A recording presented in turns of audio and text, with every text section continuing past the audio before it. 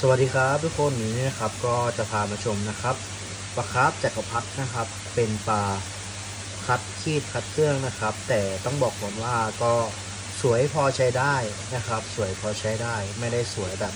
เลิศหรูอลังการนะครับผมเป็นปลาคัดจากเกรด A นะครับ เป็นปลาเกรดรองนะครับผมไซส์ก็จะอยู่ที่ประมาณ 3 นิ้วนะครับ ผมวัดรวมหางนะครับ เป็นปลาถ้าบอลลี่ก็จะประมาณ 2.5 นิ้วนะครับ ทุกคนนี่นะครับราคาก็หลักสิบนะครับสำหรับพี่ๆน้องๆท่านใดสนใจนะครับ สามารถติดต่อสอบถาม ทักไลน์มาได้เลยนะครับ หรือทักเพจนะครับ หรือทัก Facebook นะครับ หรือโทรมาสอบถามนะครับ ทางฟาร์มมีบริการส่งทั่วไทยส่งถึงบ้านนะครับ เดี๋ยวเราจะพาไปชมใกล้ ๆ กันนะครับ สีขาวโทอากุนะครับ